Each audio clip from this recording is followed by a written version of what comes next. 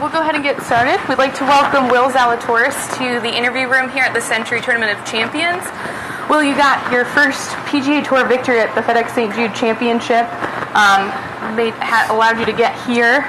Um, just kind of talk about what it's like to be starting your year off at the Sentry Tournament of Champions, Maui, the course, all of that good stuff. Yeah, it's been a uh, interesting four months to say the least uh, since Memphis, but yeah, beautiful place. You know, this is probably the tournament that I watched the most growing up, just given the fact that you know you're watching it uh, at night uh, back home. So uh, pretty cool seeing uh, some of the holes for the first time. You know, after all the years of watching it on TV. So uh, a lot of fun, and obviously uh, pretty happy to be here, uh, given the win, and then you know the last three months of being off.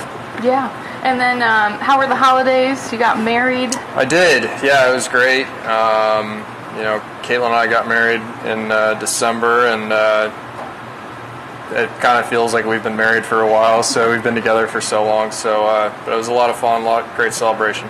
Awesome. And with that, we'll open up to questions. Ready first, Alan Shipnuck.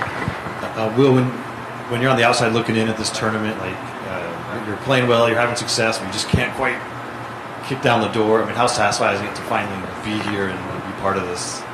Yeah, you know, it's uh, it's such a cool spot. You know, I I think I've just been so close so many times, and so I think if anything, after having the time off, it's kind of hard to remind myself of all the second places. Um, but yeah, it's it's is, uh, it's pretty cool to be with you know all the past champ or all the champions from this past year, and then uh, obviously the guys who made it to East Lake as well. So um, this is the best of the best. I mean, it's exclusive, right? You have there's only 30 guys at the tour championship. This is otherwise the smallest gathering you have all year, so you feel like you've kind of you're finally in the club.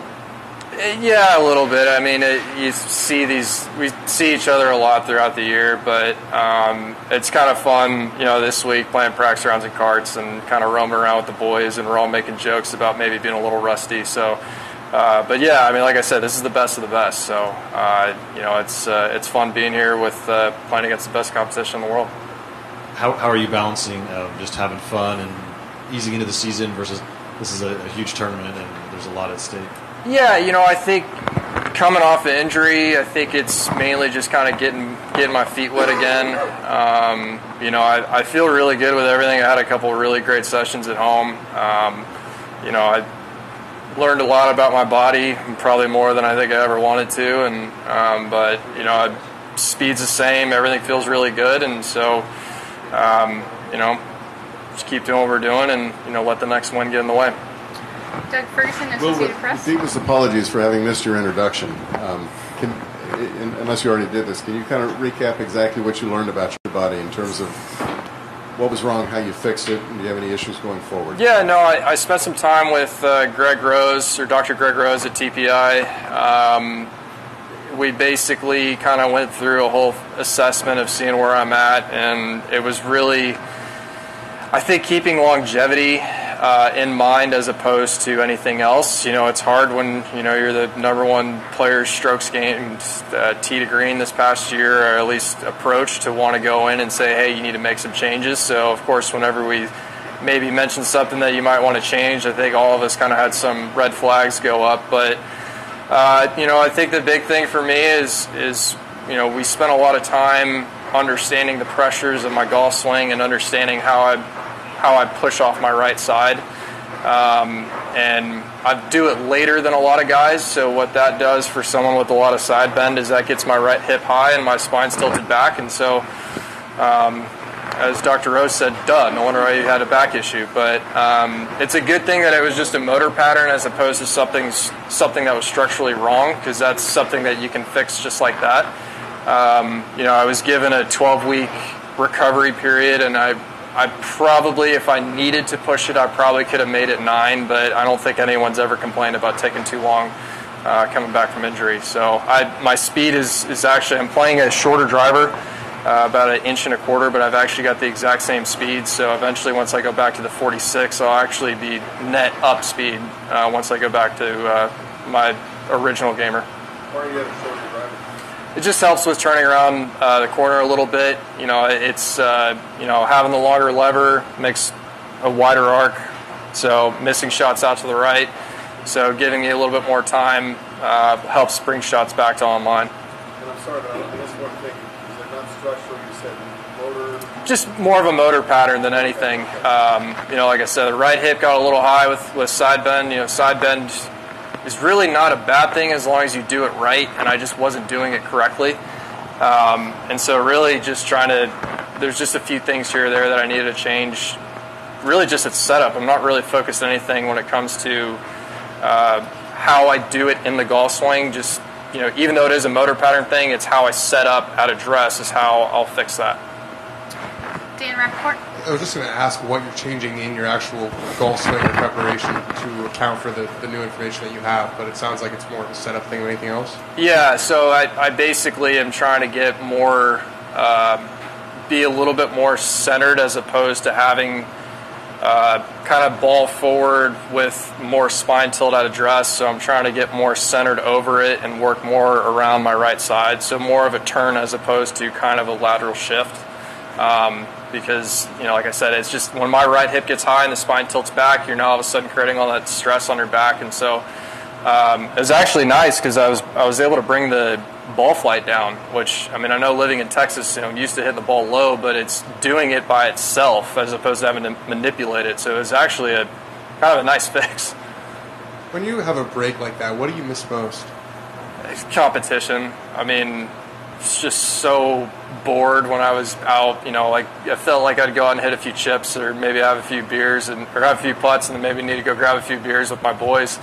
But um, yeah, I mean, it, especially being in contention as much as I was last year, there's just no better feeling than it.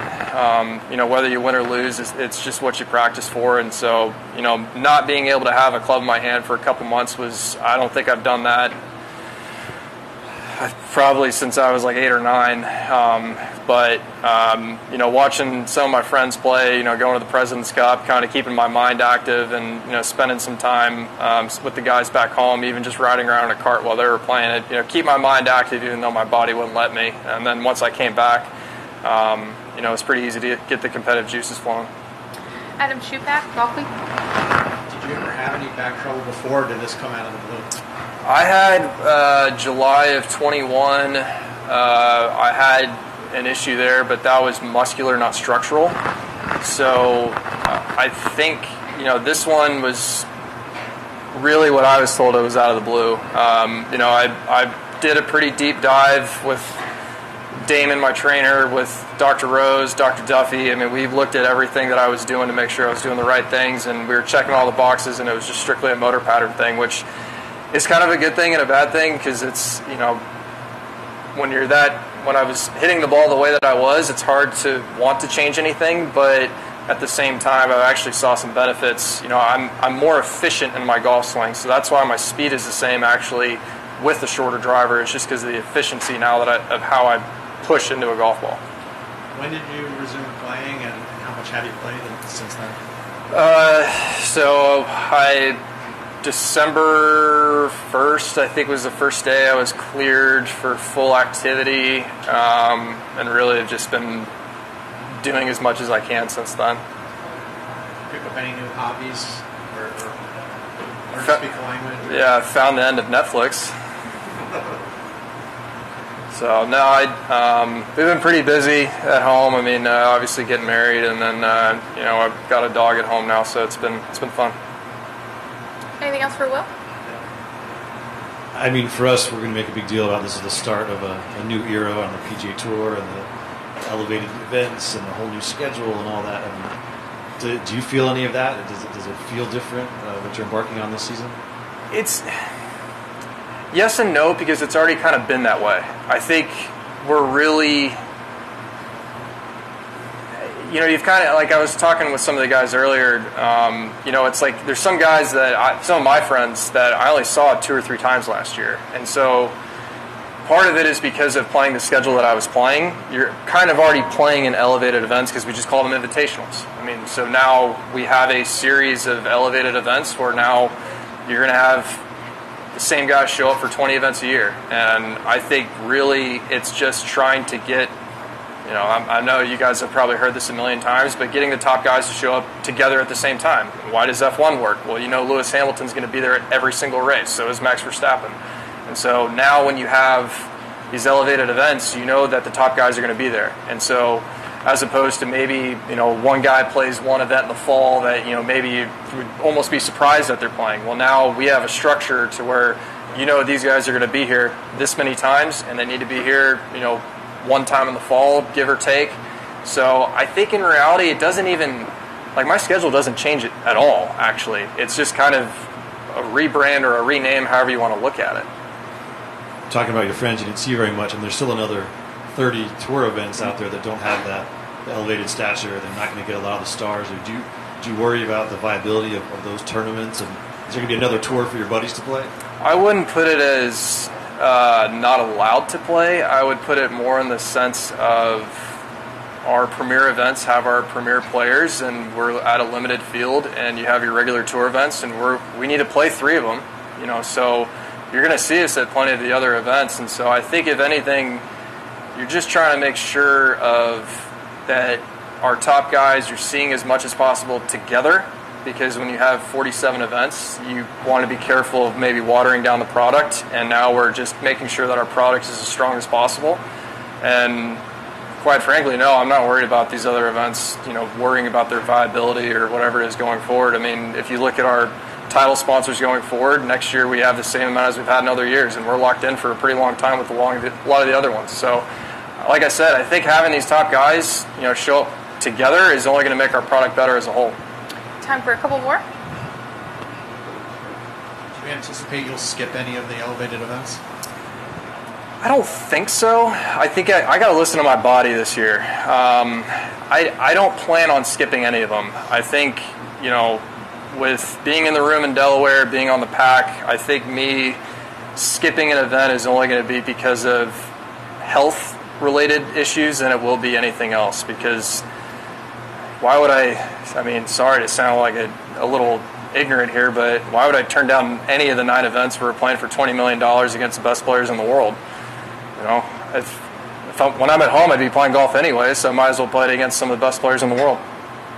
Is there anything you have to do warming up with stretching differently than, you know, is it a different process now, getting ready to play? More post tab work for sure. Uh, Pre round stuff, a lot of the same. Um, like I said, because we had checked all the boxes in terms of the, of the pre round, what I do in the gym with the activations, but the after. You know, if I'm going to play as much as I'd like to play, I need to make sure that you know maybe my hips don't get out of line, type thing. So a lot of work after I'm done with a, a round is going to be crucial to make sure that um, I'm able to play you know four or five weeks in a row like I like to. We'll wrap up with Doug. Is there possibly a scenario where if all the top guys are playing all the same tournaments that it gets old? Or it loses it, it, it loses the amount of buzz that it has maybe in the, in the first time you go around. This becomes the new norm, and it's I th- I see your point. It's not a point. I'm, I'm No, no, I, I see.